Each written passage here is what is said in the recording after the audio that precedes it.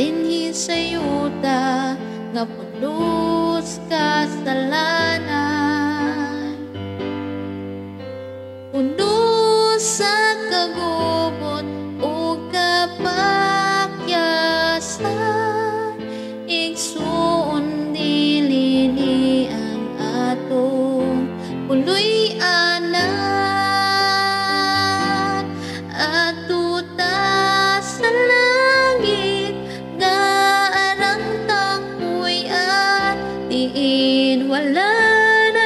Na'y kasakit nga atong matagamtang Itutan ninyo mag-ubang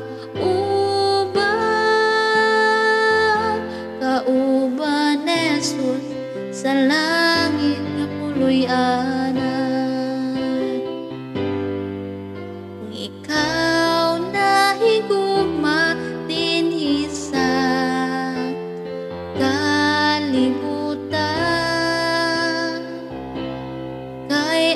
imong bahandi daghan pa sa uban.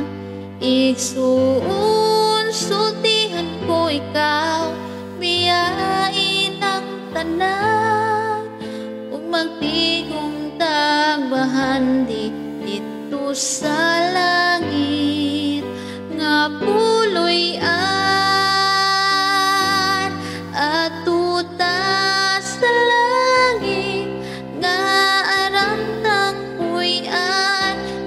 diin wala na'y kasakit. Nga atong matagamtan itutan ninyo mag-ubang kauban Jesus sa langit nga puloy anan